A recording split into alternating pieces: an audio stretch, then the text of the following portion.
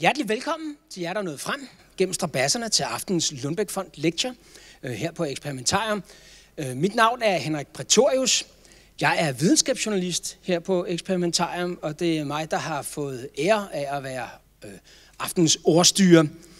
Jeg vil lige sige kort om Lundbæk Fonden og Experimentarium, hvad det er for et samarbejde, vi har her, øh, hvor vi præsenterer den nyeste danske forskning.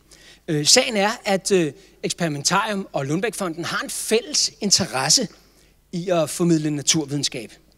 Experimentarium øh, formidler naturvidenskab her i udstillingen, for eksempel, men også gennem øh, undervisning for skolebørn og for alle mulige andre, og igennem nyhedsproduktion. Vi øh, producerer artikler til nogle øh, aviser blandt andet, og har også haft en, en rolle at spille i, i den serie, der kørte på DRK øh, sidste efterår og vinter om store danske videnskabsfolk. Og Lundbergfonden til gengæld har også en meget stor interesse i at formidle naturvidenskab. Øh, hvert år så uddeler Lundbergfonden omkring 500 millioner kroner til såvel forskning som, men også til forskningsformidling som sådan. I aften så skal vi øh, høre om de skader, der opstår i hjernen på grund af en blodprop eller blødning. Det øh, kaldes også et slagtilfælde.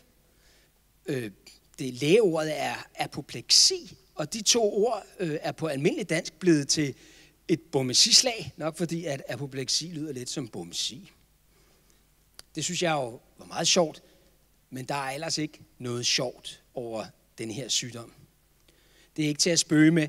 I, under et slagtilfælde, så tager hjernen skade, eller kan tage skade.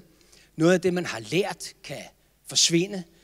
Det, den viden og den kunde, man som menneske har bygget op igennem et helt liv, kan fordufte på ganske få timer.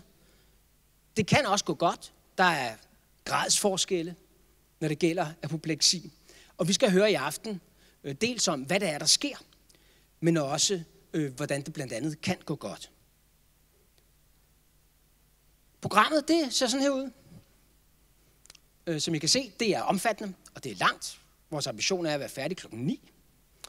Så øh, vi begynder med Greta Andersen, som er overlæge og professor i neurologi ved Aarhus Universitetshospital, og som forsker i apopleksi, og faktisk har vundet flere priser for forskning. Jeg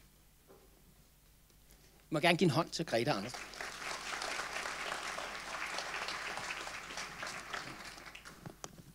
tak for det. Ja, men nu da du så selv indleder med at sige, at vi siger apopleksi i Danmark, så er jeg faktisk fortaler for, at det holder vi op med, og i stedet for anvender ordet stroke, for det gør man i hele verden. Og øh, jeg vil helst ikke have, at man siger slagtilfælde, for der er sådan noget, noget øh, øh, nedsættende over det udtryk, øh, som om det skulle være en straf fra de højere magter, at man får en blodprop i hjernen eller en blødning. Og i hvert fald slet ikke hjerneblødning, fordi når man siger hjerneblødning, så er de fleste tilfælde i virkeligheden en blodprop. Så nu har du lært det, Henrik.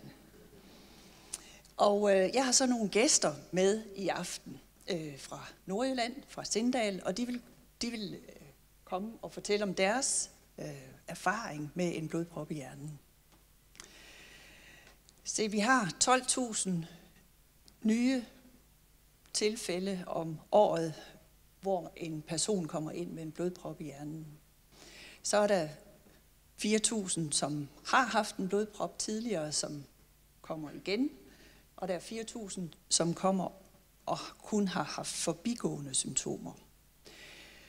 I Danmark har vi oprustet inden for de senere år for at være klar, når patienterne får blodproppen i hjernen eller hjerneblødningen. Og vi har lært øh, ambulanceredskabet, beredskabet, at det skal ske hurtigt, så folk kommer meget hurtigt ind til os.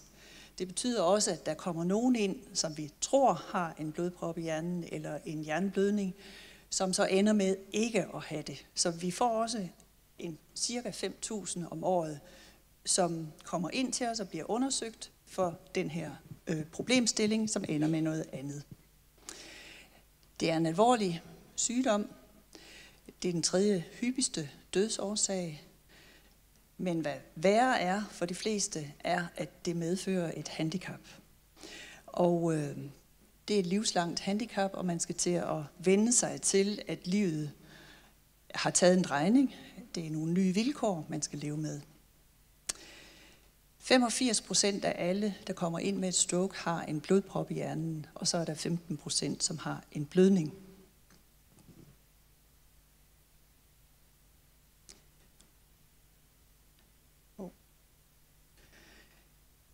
Det er ikke så mange år siden, at man øh, sådan set mente, at der var nok ikke noget at gøre, når at patienterne kom ind til os. Hjernen havde nok taget skade, der var nok sket det, der skulle ske, så der var ikke så meget, lægerne kunne stille op. En af mine kolleger skrev i et, øh, en leder i ugeskriftet for nylig, at for 40 år siden, da han var ung læge og skulle lære at behandle patienter med stroke, så var der en ældre læge, som sagde til ham, jamen det man kan gøre her, det er, at vi kan give en tudekop og en sengehest. Det er det, vi kan behandle med. Det var selvfølgelig lidt hårdt sagt, men det betyder jo, at man mente ikke dengang, at der var noget at stille op.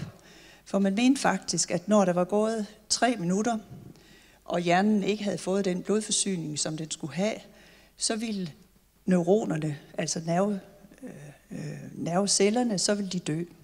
For vi har alle sammen lært på universitetet, at en nervecelle skal have tilført energi og ilt konstant. Og hvis det svigter, så dør cellen efter tre minutter. Der er ikke nogen lagre af energi og ilt i hjernen, så hvis ikke det kommer via blodet, jamen så, er det, så går det galt. Det viste sig så, at det er ikke helt rigtigt. Det er det område af hjernen, som er aller værst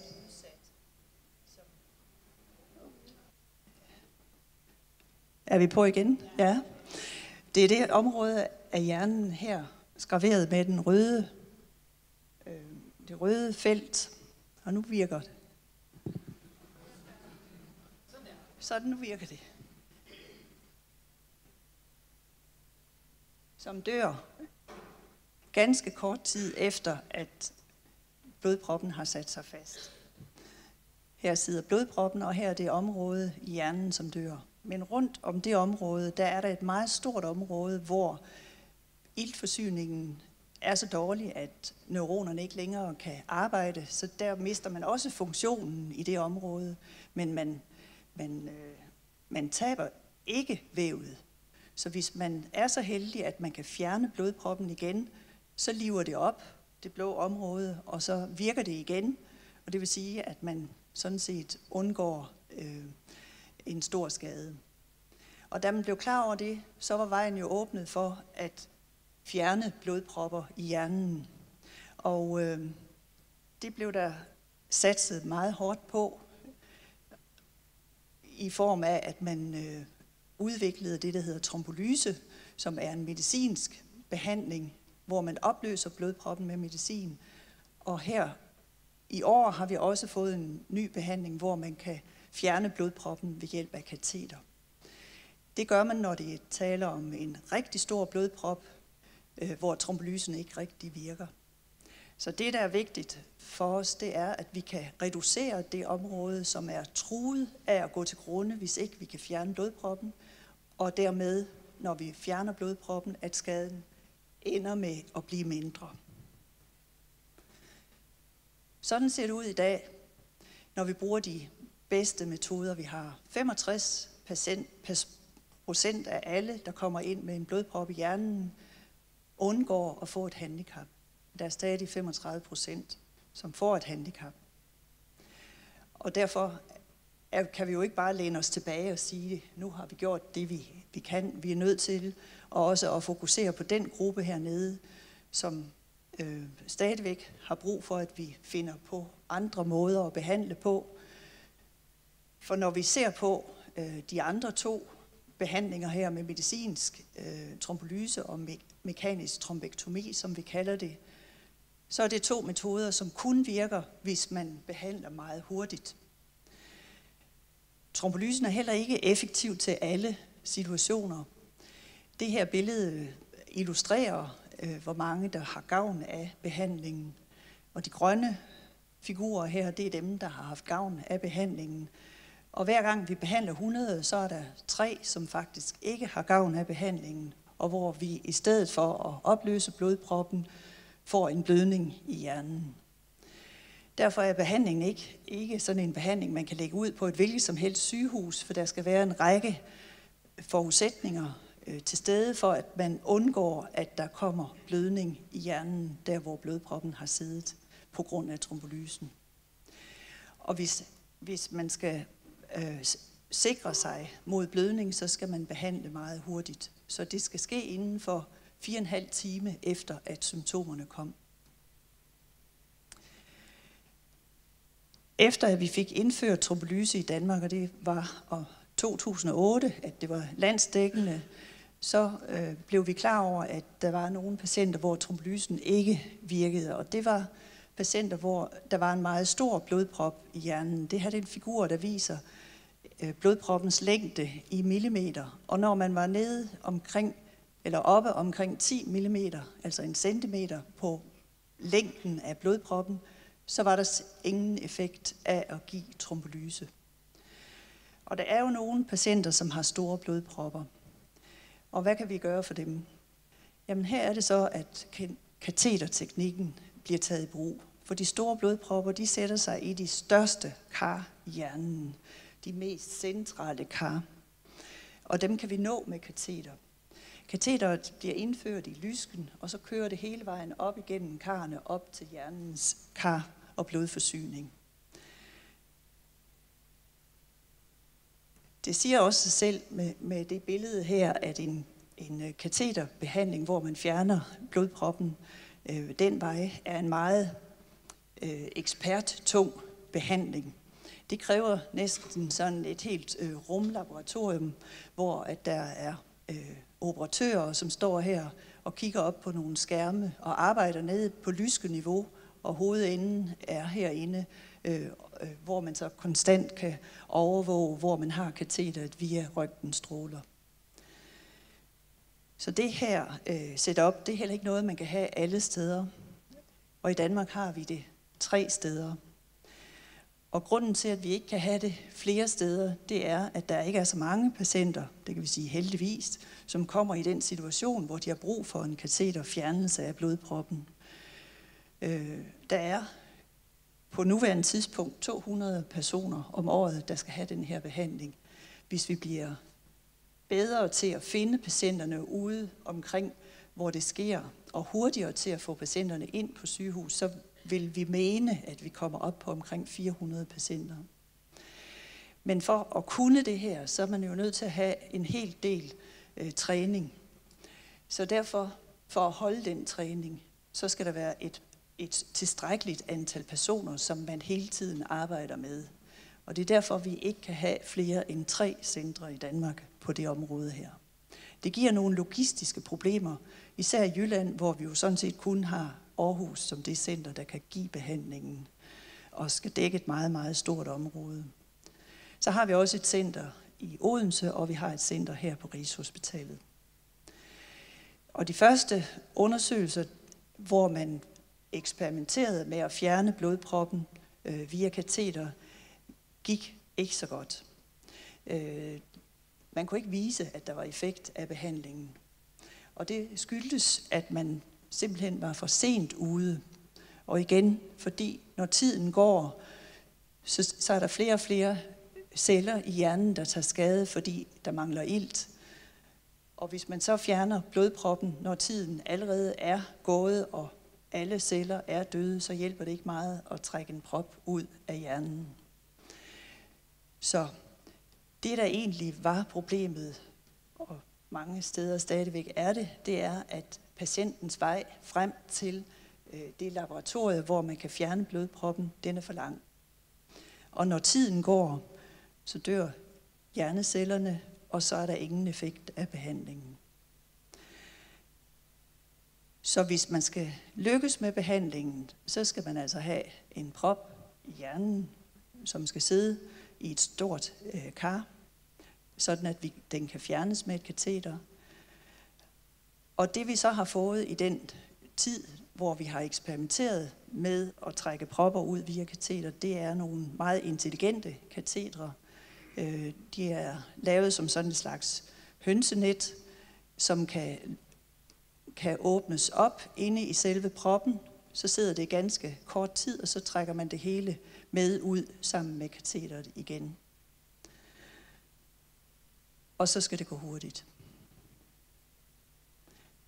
Her er et billede, som øh, viser, hvordan det ser ud, når man står inde i vores laboratorier og kigger ind på hjernens kar og har sprøjtet en lille smule kontrast ind i karret.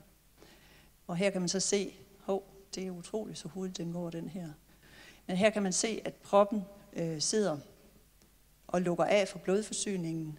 Vi har haft katheteret inde, og vi har trukket sådan en, en lang pølse ud, og øh, så er blodforsyningen bagefter genskabt. Andre har tænkt, når vi nu har øh, disse problemer med at få patienten hurtigt nok frem til det sted, hvor man kan give den rigtige behandling, jamen hvad med at sende en ambulance ud til patienten i stedet for? Det har man for eksempel gjort i Berlin. Så har man så bygget en øh, special ambulance, det er sådan en stor kassevogn, hvor der er en CT-scanner inde i ambulancen. Og her kan man så lave en scanningsundersøgelse både af hjernen, men også af karne ind øh, op til hjernen, og man kan se, om der sidder sådan en, en øh, blodprop i hjernens kar. Og hvis man så kan konstatere, at det er en, en patient, der har en blodprop i hjernen, øh, så kan man starte trombolysen allerede ude i ambulancen, og så kan man køre ambulancen hen det sted, hvor man har den ekstra behandling, der skal til, for eksempel en kateterbehandling. Og på den måde har man set, at man kan spare en halv time, øh, og altså komme hurtigere i gang med behandlingen, øh, og, og dermed få en bedre øh, funktion efterfølgende. Det kan man bruge, hvis man bor i en millionby, og Berlin er et godt eksempel. Og man ville faktisk også kunne bruge det i København. Men i Jylland dur det ikke, for der vil det tage rigtig lang tid, hvis man skal ud og køre med sådan en ambulance, og man skal køre 100 km, for den kan ikke køre ret stærkt. Man har også eksperimenteret med at øh, videooptage, øh, hvordan patienten har det i ambulancen. Man kan se ansigtet, og man kan se redderen lave forskellige øvelser med, med patienten. Øh, nu står jeg lidt skæv for det, men her holder han armene op for at vise, om, om der er lammelse i armene. Øhm, og på den måde, så kan lægen, som, som er inde på hospitalet, det er ham her, så kan han sidde og kigge med i ambulancen og give gode råd, og måske også danne sig et indtryk af, hvor syg er den patient, som er på vej ind til os. Og hvis han kan se, at det her er en patient, som har en stor blodprop i hjernen, så kan de jo allerede begynde at forberede laboratoriet, hvor de skal fjerne blodproppen med kateter.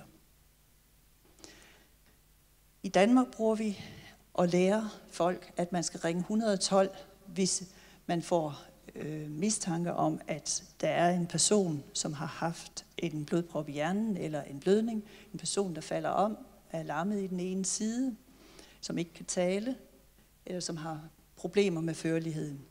Så ringer man 112, og så kommer der nogle specialuddannede ambulanceredere ud og kigger. Og hvis de ser, at øh, det her det er øh, med stor sandsynlighed en blodprop i hjernen eller et stroke, så ringer de ind til trombolyselægen på det nærmeste øh, trombolysecenter og melder patientens ankomst. Og det sker med blå blink. Selvom man, når man får en blodprop i hjernen eller en hjerneblødning, egentlig sagtens kan trække vejret og ikke er akut øh, dødstruet på, på livet som sådan, øh, så kører man med blå blink simpelthen for at spare tid. Og i, i, i Danmark har vi også tre helikoptere. Vi har en i Skive, en i Bilund og en i Ringsted, som skal hjælpe med at få patienter, der kommer rigtig langt væk fra, hurtigst muligt ind til det nærmeste center. Det bruger vi en del hos os, hvis man for eksempel bliver syg i Skagen og skal til Aarhus for at behandles. Så ved vi, at det tager for lang tid, hvis man skal køre hele vejen i ambulance. Og så kan man starte turen i en ambulance og blive omladet til en helikopter, som så kan tage den sidste del af turen. Vi har også brugt det, hvis vi har haft øh, to patienter undervejs med tegn på en meget stor blodprop i hjernen, så har vi ringet til kollegerne i, i, øh, på Rigshospitalet og sagt, kan I tage imod en af vores patienter, fordi vi har allerede en kørende og har ikke, kan ikke tage den næste. Og så kan man lige så godt frem for at flyve til Aarhus, flyve til, til øh, Rigshospitalet og få behandlingen her. Så på den måde samarbejder vi også med Odense for at sørge for, at de patienter, som har allermest brug for at komme hurtigt frem og få en hurtig og effektiv behandling, de kommer det rigtige sted. Se, nu tror jeg, vi skal have en historie, som fortæller meget godt, hvad det her det handler om. Og til det har jeg, har jeg inviteret nogle gæster. Det er Jens Werner og hans datter Helene og hans kone Kirsten. Okay. Og jeg vil starte med at sige velkommen til jer. Tak. tak fordi I tog turen helt til København. Tak. Tak, velbekomme.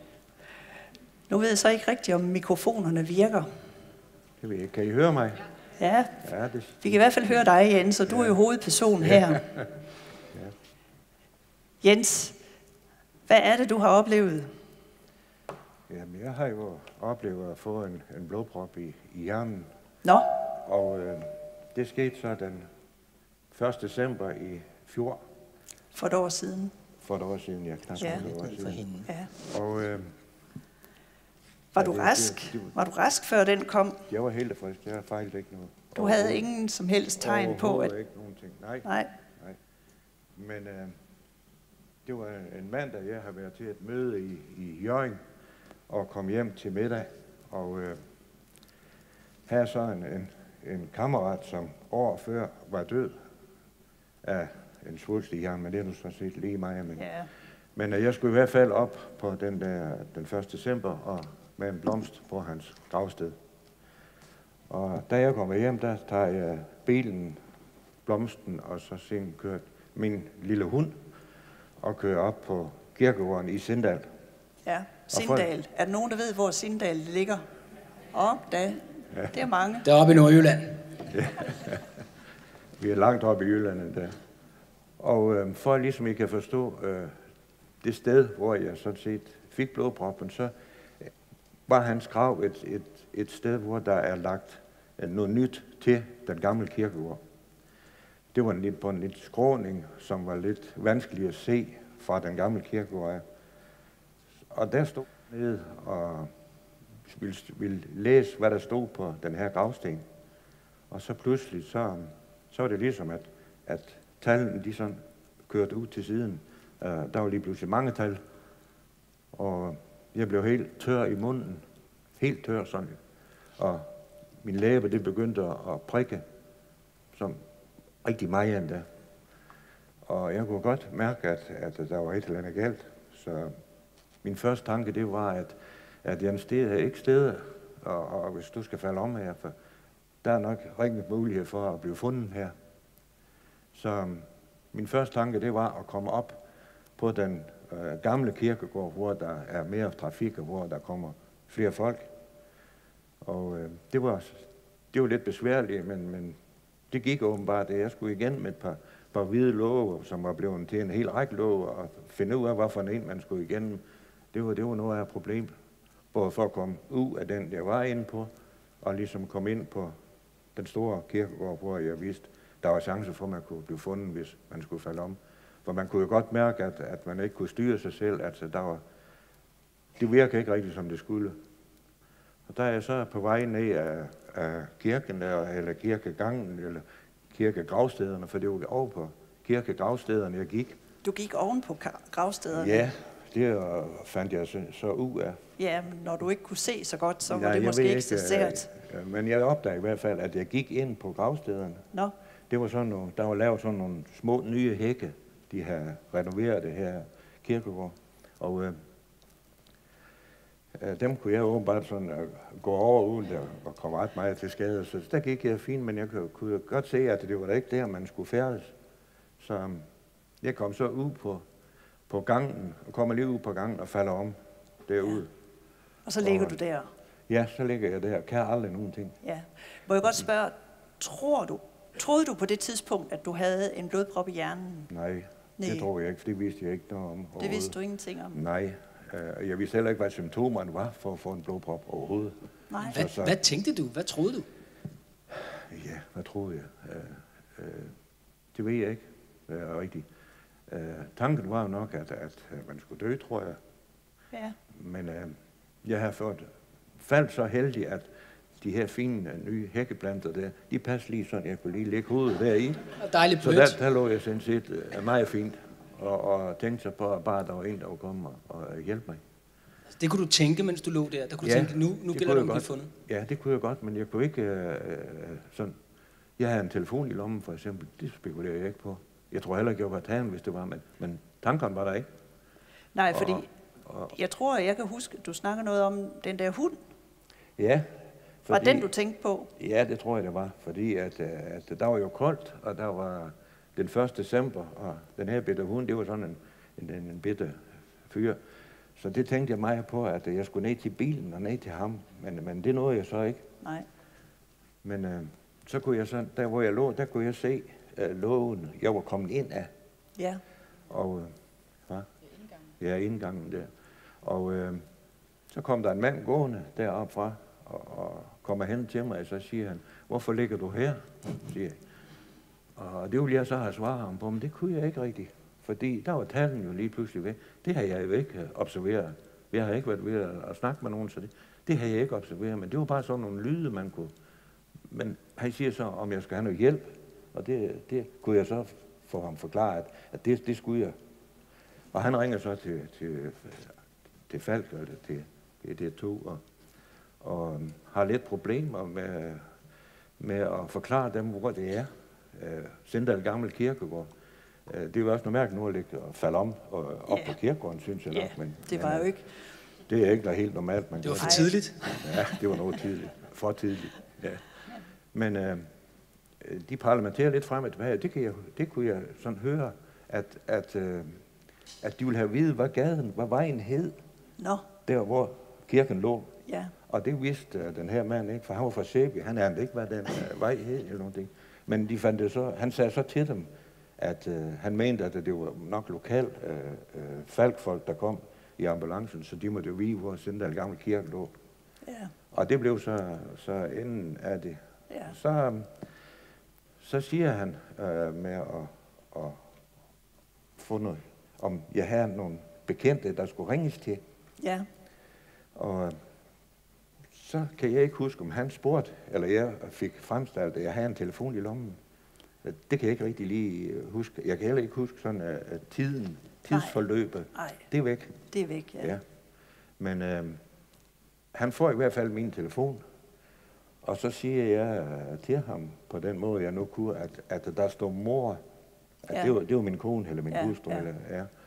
Og øh, han famler noget med den her telefon, og kan ikke finde ud af den, for den er selvfølgelig ikke med til den, han har. Nej, nej, det er Nej. klart. Så det drøjer han lidt med, men han kan så finde numre, og så ringer til min kone, som var på arbejde, og øh, får så fat i hende langt om længe. Og, og så, så siger han, jeg kan se, der står Helene øh, i din telefon, så, så får jeg også sagt, bare ring, det er min pige, eller, Ja. eller bare Ja. ring. Eller, øh, og det, det gjorde han så. Ja, Og så imens, øh, jeg tror det var, mens han snakker med min kone, der kunne han høre, øh, at ambulancen kom. Og øh, ja, så bakker de helt ind på, på kirkegården og, og holder Ja. lige ved siden af mig. Ja. Og, og så er det, at, at, at de har så fået en meddelelse om, at jeg har ondt i, i hoften. nå, Det ved jeg ikke, hvor det er kommet fra. Men, nej, men, det er jo men, sært, hvor det opstår henne. Ja, det ved jeg ikke, hvor det kommer fra. Nej. Om, om, det er for, om jeg har ømmet mig i... i det Du jeg har ikke. nok klaget dig, eller måske, et eller andet. Måske. Ja, Ja. ja. Men øh, Så de er ikke helt klar over, hvad de skal gøre ved dig? nej, de, det er ligesom, at jeg kan huske, de løftede mig i min jakke, sådan øh, løftede mig op. Om det var for, at de skulle prøve, om jeg kunne stå op, det ved jeg ikke. Nej. For jeg, tænk, øh, jeg kan huske, jeg, jeg tænkte lidt på, at, at det var mærkeligt, at de har sådan en døj med at få mig lagt på en bord. Det kan jeg lige så tydeligt huske. Og, øh, og jeg kom så ind øh, i ambulancen, og, og de laver så alt det, der så, så skal De sætter elektroder på, ja, og de måler og- blodtryk og puls ja. og sådan nogle ting. Og de holder så på kirkegården i tre kvarter, inden de kører med mig. Ja, det, det, det, Og der tror jeg, vi skal høre, hvad din datter siger nu. Fordi Ja. at du kommer jo ind i billedet til Lene. Ja, heldig mig. Øhm, det lykkedes ikke, den her mand, at få fat i mig, fordi jeg selv sidder på sygehuset. Mm. Øhm, og jeg er så, så heldig at have sådan et smart ur, der også kan tage sin telefon. Og den tager så telefonen, og jeg rykker så bare ærmet nedover, fordi jeg havde ventet i lang tid på at få taget en blodprøve, så han måtte skulle lige vente den gamle, til jeg var færdig. Og da jeg så ringer tilbage, efter jeg kommer ud, tager han ikke telefonen. Nej. Men altså, han kan være ude med Frida. Det hedder den her hund, han snakker om. Øh, men jeg når kun lige ud af hospitalet, før min mor ringer og beder mig om at, at hente sig. Fordi han er, han er faldet om.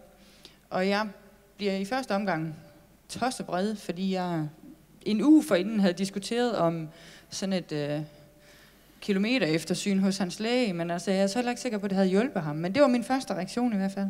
Ja. Øhm, og aftaler så med min mor, at øh, jeg skal blive i Jørgen, fordi vi forventede, at det var der, han skulle komme op. Ja, ja. Øh, og får så hentet min lille søster øh, i, i farken. Og, og vi øh, stormer jo næsten det her stakkels hospital, fordi øh, den er helt gal med vores far. Så det er jo helt frygteligt. Ja. Øh, og da vi kommer ind i modtagelsen og, og begynder at, at stille spørgsmål, der holder de stadig i Sindal. Nå. Øh, og hun siger, at øh, jeg har ikke noget navn på patienten, men øh, der, der er en 68-årig mand, som, øh, som har slået sin hofte. Nå. Og så siger jeg, det er der ikke. Der er en 68-årig mand, der er sket noget med, for han går sgu normalt. øhm, og hun kigger meget mærkeligt på mig, og så siger jeg, jeg er blevet fortalt, at han døjer med at snakke, så der er noget galt i hans hoved. Ja. Og så ser hun helt forkert ud, og så går hun ellers til telefonen og, og får ringet. Ja.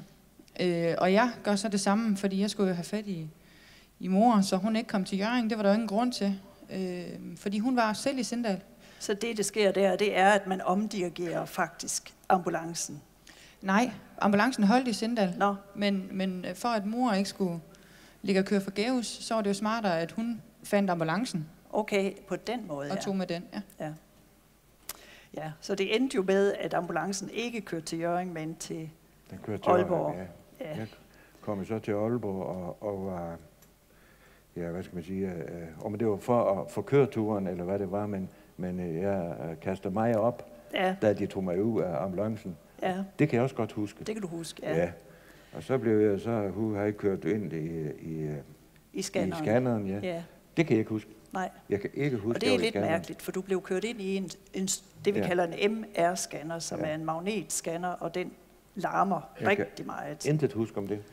Men jeg kan huske, øh, da jeg kom ud, og der, der ser jeg øh, både pigerne og, og min kone, der, der, der står. Men øh, det, det er sådan lige sådan et glimt. Ja. Øh, Ja, for tiden flyder og så kommer, ud for dig. så kommer der så en læge hen og siger til mig, at, at jeg har en blodprop i, i hjernen. Og øh, de ventede på besked på, hvad, hvad videre der skulle ske. Ja, Øh, og det viste jeg, så kom han så. Men jeg, han kom og sagde, at jeg skulle videre til Aarhus ja, i ambulance. ja, fordi at det var for besværligt at, at, at rekvirere en helikopter. Det ville vare lige så længe for en helikopter til Aalborg, og for mig læse over i den, og så komme til Aarhus. Så var det lige så hurtigt at køre mig øh, i ambulancen. på vejen, ja. Ja. Ja, Og det tog så, mener jeg, 45 minutter, tror ja jeg. det Og der, kom er- til at gå rigtig hurtigt. der er cirka 100 km, så han er ikke... Jeg kan huske det her summen af, af lyden i ambulancen, den, øh, Den den, der- den, summe hele tiden. Det, det er nok, fordi han kører med de omdrejninger, den, Ja, den kan.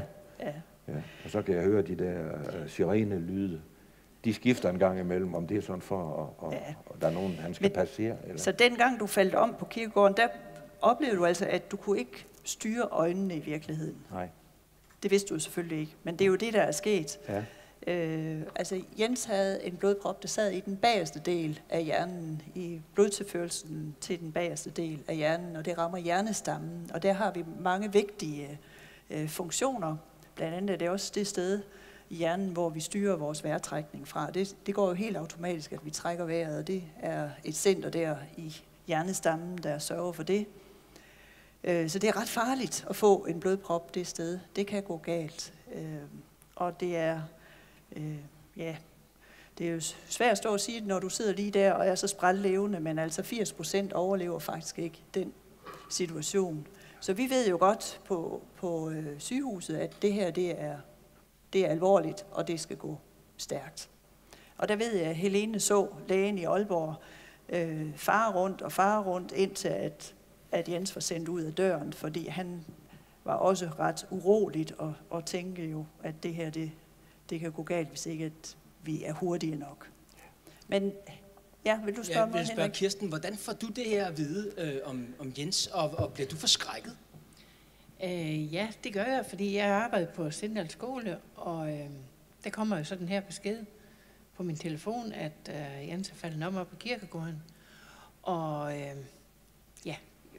bilen havde han, og cyklen stod hjemme, og så jeg skulle op. Jeg blev kørt op på kirkegården. Det var ikke meningen fra starten, fordi de var jo nok væk, men det var de jo så slet ikke. De holdt der jo. Ja, Hvad Og- ser du, når du kommer ind på kirkegården? Jamen, jeg, jeg ser ambulancen. Og så øh, var der en graver der, og så gik vi op til, til ambulancen, men de, de arbejdede jo så inde bag i ambulancen.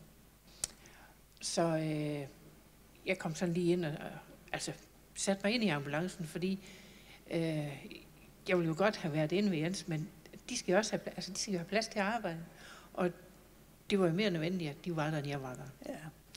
Og så øh, gik der, ja, ja, hvad er tid? Men altså, der gik der et stykke tid, og så kommer øh, ham, der så kører ambulancen og siger, har du spændt selen? "Øh, Ja, det har jeg. Vi kører til Aalborg, og vi kører med udrykning. Og så siger jeg, hvad, ved I, hvad det måske er? Hmm, måske en blodprop i hjernen eller en hjerneblødning, det kan vi ikke sige noget om. Men vi kører derud, og vi kører stærkt. Og det gjorde de. Ja, Det, ja, Ja, Ja. ja.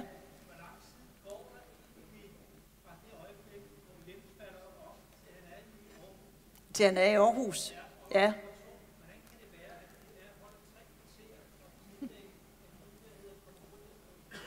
Altså, Ja. hvor lang tid går der fra man når frem til Aarhus, fra Jens når frem til Aarhus, fra han er faldet om, og hvorfor kører, holder de så længe op på kirkegården? Det tror jeg, Helene ved. Det tror jeg også, jeg ved. Øhm, jeg tror, det er på grund af, at de ikke har forstået, hvad der, er, der rent faktisk foregår. Øhm, fordi da jeg kommer ind på sygehuset, tror de jo, at, at min, min far har slået hoften. Og da jeg så reagerer og siger, der er sgu ikke noget i vejen med hans ben, øh, det er hans hoved, det er galt i, øhm, der reagerer hun jo resolut, og der er der jo faktisk allerede gået øh, alt for mange dyrebare minutter på noget, der slet ikke er sket. Øhm, så da hun ringer til ambulancen, altså jeg ringer så til min mor, samtidig med at hun ringer til ambulancen og siger, hey stop en hal og op på kirkegården med dig, du kan lige så godt følges med ambulancen. At hun så hårdnakket og mener, at hun selv skal køre, det er sådan noget helt andet. Hvor jeg så får forklaret hende, at hun og bil, det skal nok klare sig selv, hun skal bare i ambulancen. Øh, og, og i den tid, det så fortalte mig at parlamentere lidt med hende, øh, der, der når de så langt øh, i ambulancen, at de får taget beslutningen om, at, at det er ikke i Jørgen, det foregår, det er i Aalborg, og det er noget i hovedet. Øh, men det er den tid, jeg tror, det er den tid, der har, der har rendt lidt fra dem der. Jeg tror, det er derfor, de holder der så længe.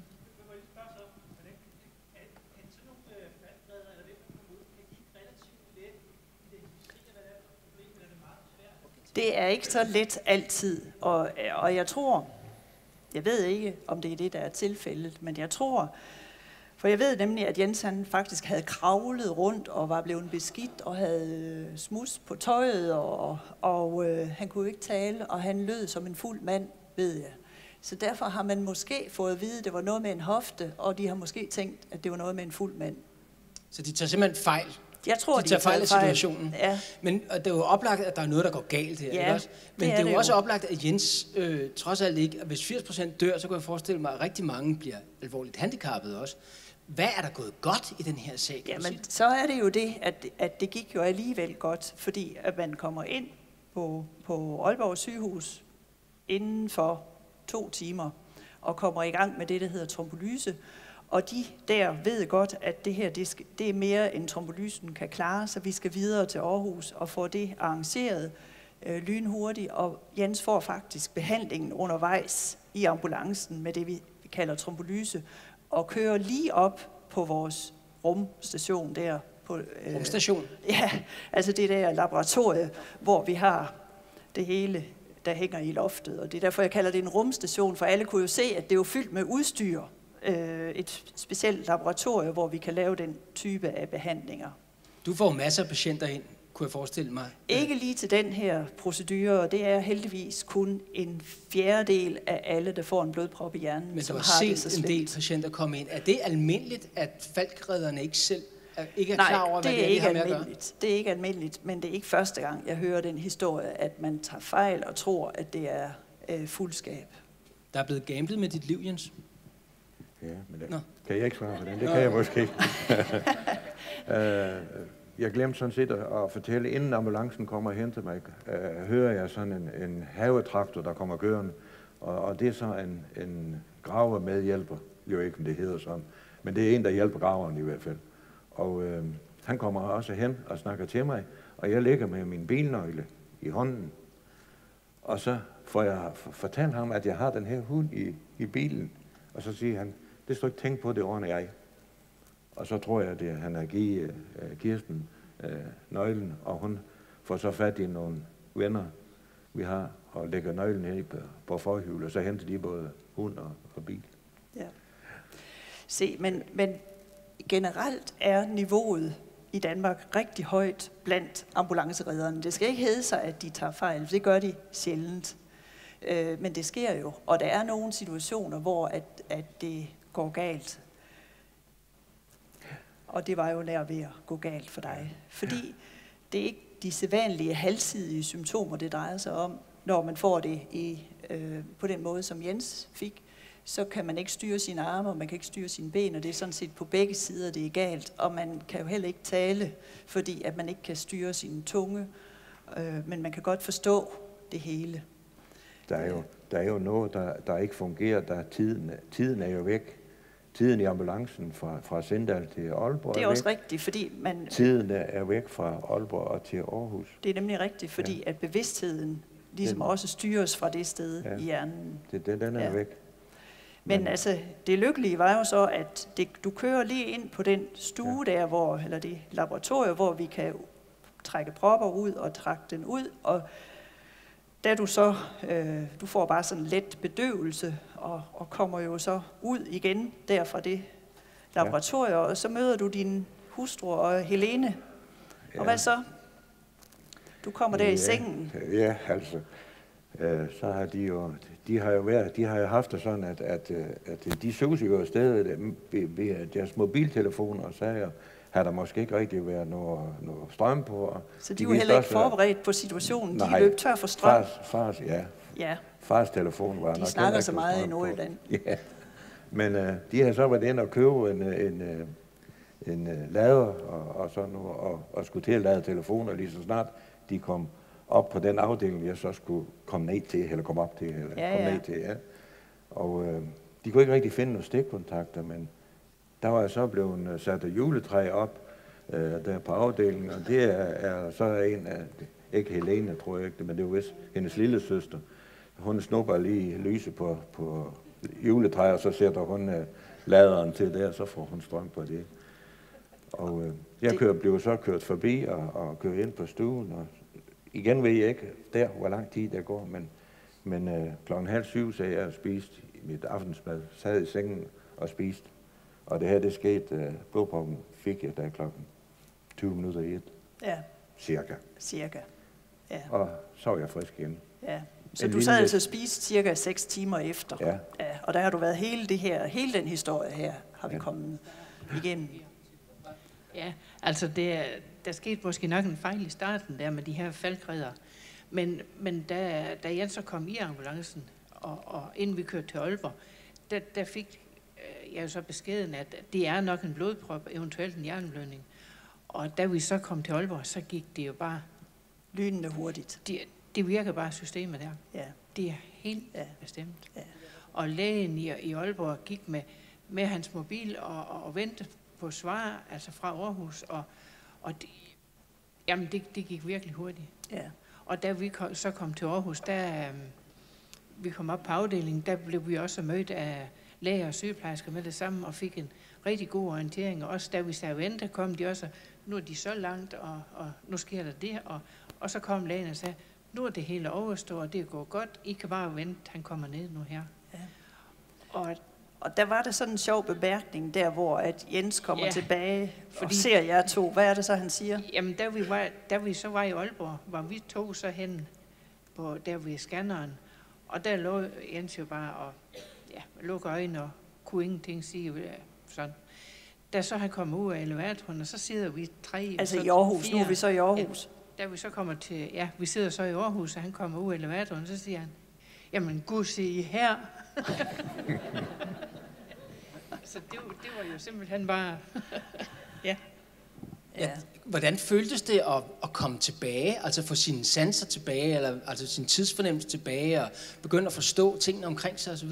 Det, det, det ved jeg egentlig ikke, fordi at, at, øh, at det, det sker så hurtigt, tror jeg det hele, at, at øh, man, man kommer ikke derover, hvor man, man kommer ikke til at tænke på det, man ikke kan. Så du tænkte ikke, hov, jeg kan tale igen? Nej, det tror jeg ikke. Det tror jeg ikke, jeg spekulerer på andet, at jeg har kunnet snakke hele tiden. Altså, det er først, når man kommer til at, at køre det igennem, at man finder, egentlig finder ud af, hvordan og hvorledes. Øh, og lige sådan, det er ikke mere end en tre dage siden, jeg gik ind og, og, og kigge i, i, papirerne for sygehuset. Og for, jeg har ikke nogen fornemmelse af, af de tidspunkter, hvor lang tid jeg var op ved at, at, at få den ud. De gik jo ind i lysken og, og gik op og tog den ud. Så det var inde i din hjerne Ja, de var herovre bag. med et instrument. Ah, ikke helt inde i hjernen, men inde i hjernekarne. Ja, ja. Hvad er forskellen her? Ja, det må man nok sige. Så har du lært noget i dag også. Nej, jeg lærer noget hele tiden. Men det er da stadig en, en, en mærkelig tanke, at de har været inde igennem lysken. Og, Ja. og, Ja. Jeg beder så, i, siden vi så har været i, i Aarhus der og, og natten over, og, og dagen efter skulle jeg så i scanning igen, for at de skulle se, om, om de var kommet til at, at ødelægge øh, noget og sådan. Det skulle jeg igen, inden jeg kunne komme til Aalborg igen. Fordi jeg ville jo helst være i, Aalborg. Det var ikke nemt at vide på det tidspunkt, hvor langt sådan en sygeleje det lige skulle være. Så du var allerede begyndt at brokke dig lidt over, om du ikke Ja, kunne komme til godt være. Aalborg. Og sådan, Jeg var ved at altså, blive mig ja. selv. Hvor længe skal man vente? Ja, jeg var ved at blive mig selv, tror jeg. Ja, det er godt. Nordjyske selv. Ja, ja.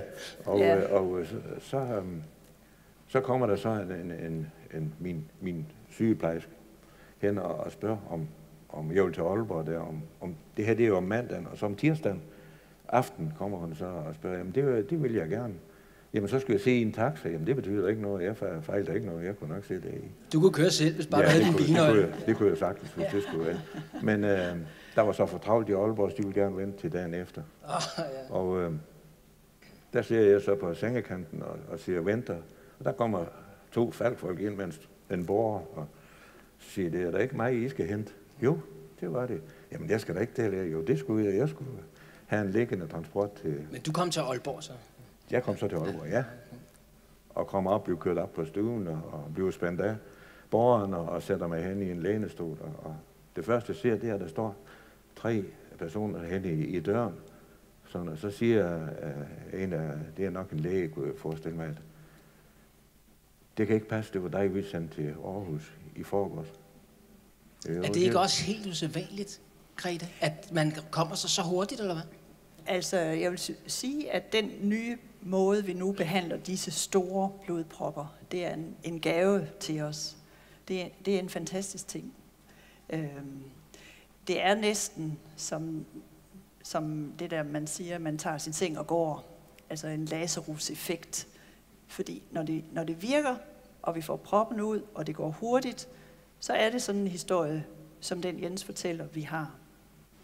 Er det næsten bedre end den, end den mildere behandling? Ja, fordi det er jo det, øh, der nu er vist her i år, at, at, øh, at det er bedre end trombolyse alene. Langt bedre, fordi trombolysen virker næsten ikke i den her situation.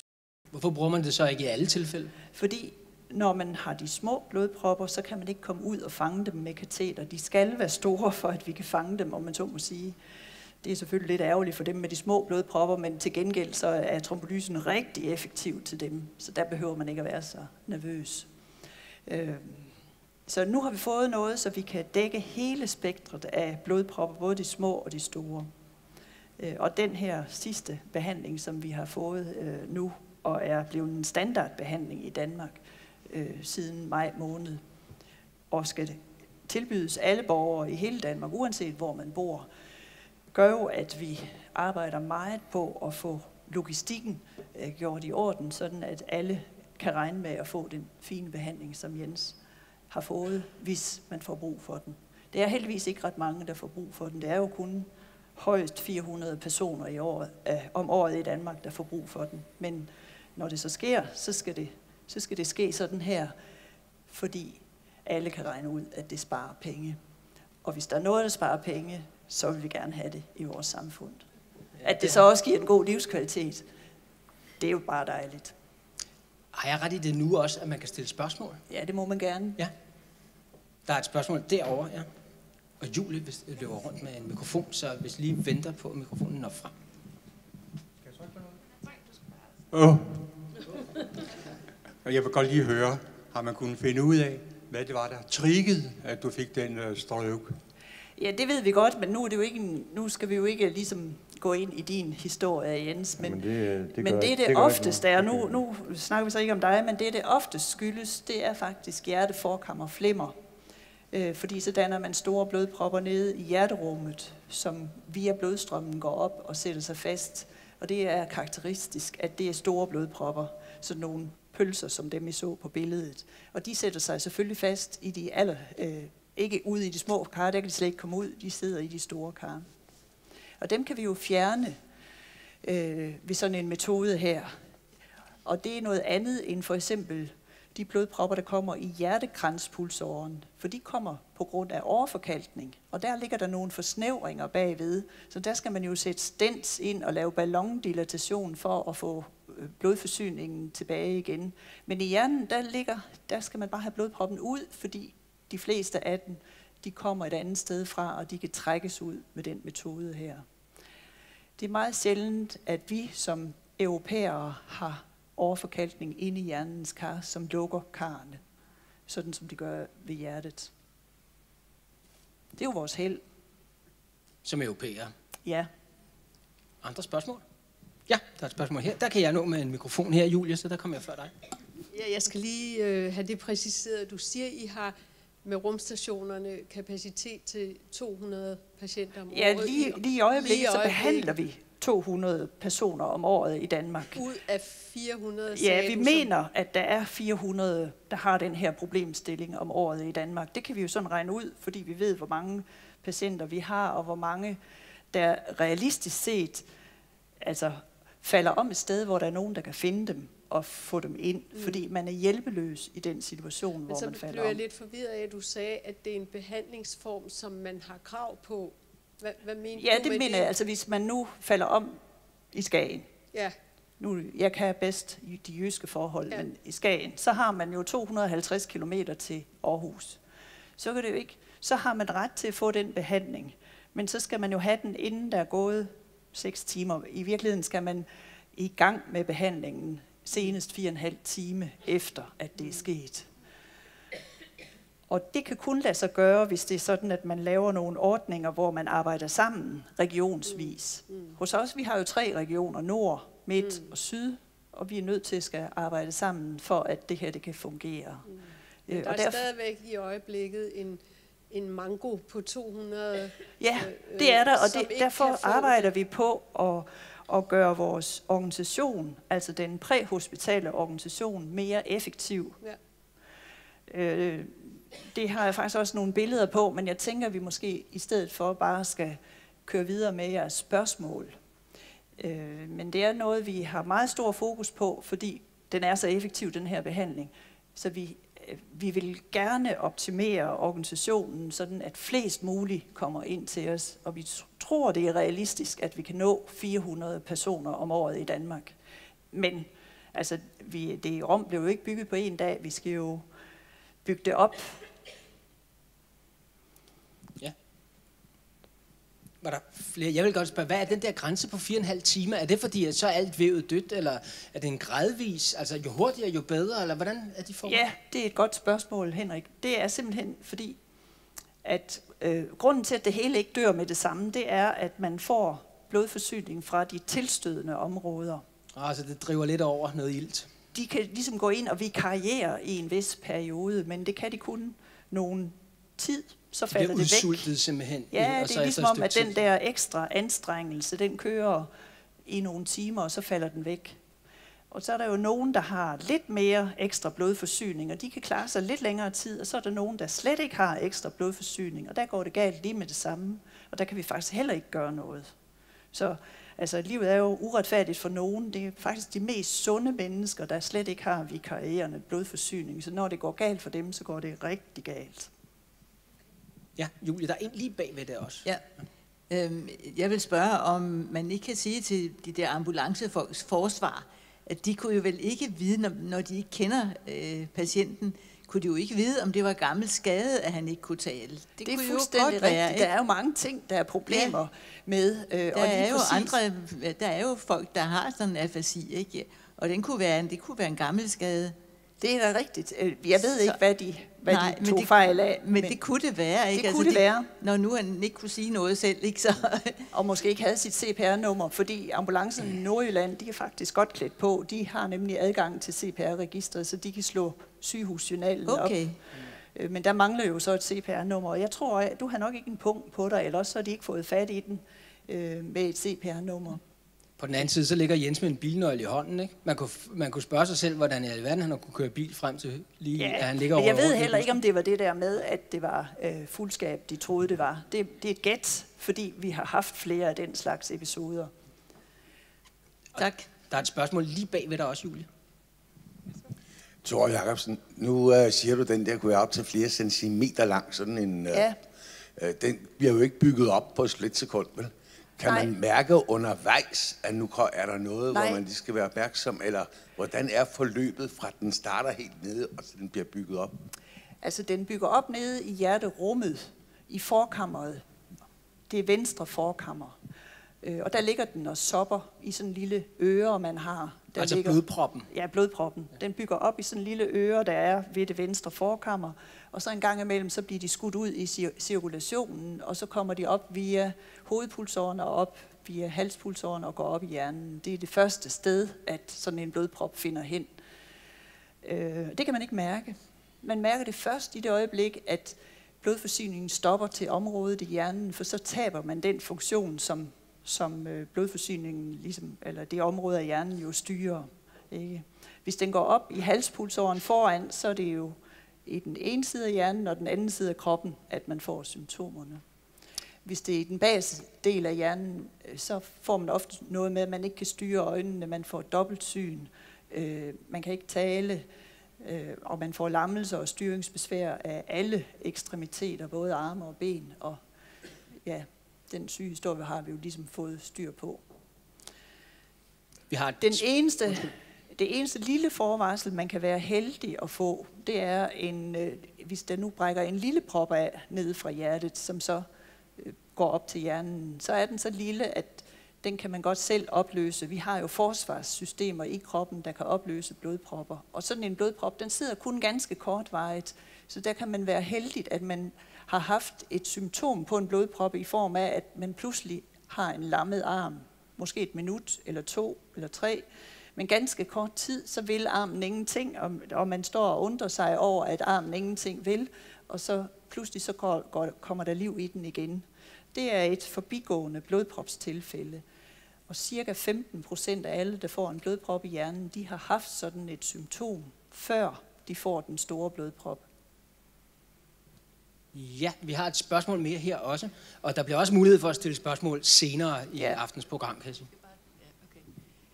Jeg, vil bare lige høre, hvis man har, får en blodprop i lillehjernen, Ja. og, og mis- mister al førlighed, og man på scanningen kan se hele blodproppen, hvad sker der så med den blodprop? Og man mister førlighed i en, ja, omkring en uges tid, og begynder at få førligheden tilbage i løbet af to uger. Hvad er det, der Et, sker? en der? blodprop, der sætter sig, uanset hvor den sætter sig i hjernen, vil man selv kunne opløse, men det tager tid.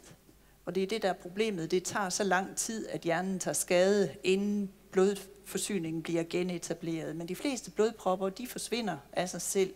Det går bare for langsomt. Så det er derfor, vores behandling virker, fordi vi skubber på og sørger for, at blodproppen hurtigere bliver opløst. Enten ved hjælp af trombolyse, som de fleste har hørt om, eller det nye, som hedder trombektomi, hvor vi går op med et kateter via lysken og ind i hjernens blodkar og fjerner proppen. Kan man tale om, at der er heldige steder, en blodprop kan sætte sig i hjernen, og uheldige steder? Ja, det, det er der da, øh, fordi der er nogen, nogle steder i hjernen, øh, som man ikke får så mange fysiske følger efter. Øh, og det, hvis, hvis man nu er en meget fysisk person og gerne vil bruge sine arme og ben, så er det jo da i hvert fald heldigt, at, at de går fri, kan man sige. Ikke også? Øh, og der er nogle steder, øh, jeg kan da for eksempel pege på, den højre tindingelap, den kunne jeg godt undvære. Hvorfor det?